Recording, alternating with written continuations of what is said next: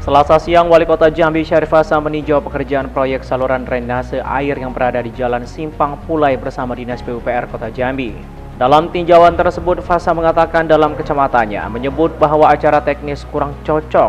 Maka sebelum dilaksanakan pekerjaan lanjutan sampai ke konstruksinya, dicek kembali perencanaannya.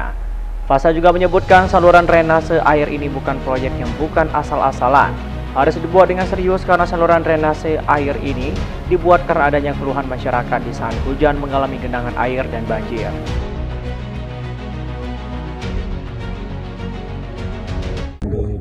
Simpang Pulai Drainase. Baik. Tadi saya mening- meninjau pekerjaan SDA yang ada di Simpang Pule ya. Eh, saya ingatkan juga kabin SDA-nya untuk mengecek kembali perencanaannya. Kalau menurut kacamata saya secara teknis kurang cocok ya.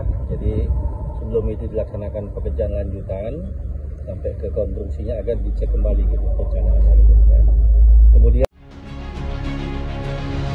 Kota Jambi, Reza Fendariski, Bungo TV.